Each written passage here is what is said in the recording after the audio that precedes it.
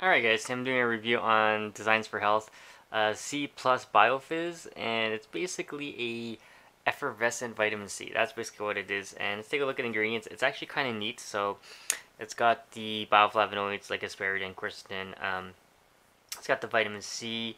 It's a calcium, magnesium ascorbate, arabinogalactans, and stevia, but it also it uses a potassium bicarb, okay? So which is actually a highlight. I'm not going to go into details uh, because that's like an hour long. Anyways, let's go into this and um, open this up and do a quick taste test for you guys. If I can get this open.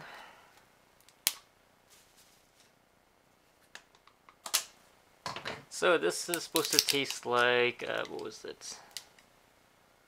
Uh, citrusy orange flavor. So check this out see if it is as good as, uh, you know, things like you hear, like the Emergen-C and stuff like that. So, I'm actually kind of eager to try this out.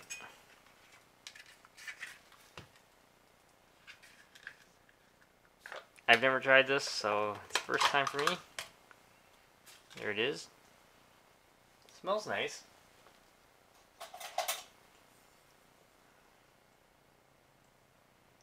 You don't want to use too much guys so about uh, half a teaspoon. This is a tablespoon so you don't want to use too much because remember too much vitamin C causes diarrhea so.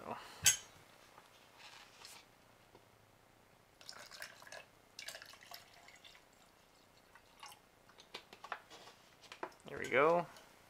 It's fizzing a bit as you can see there. That dissolved a bit. Has a nice aroma to it I'll do a quick taste test right now.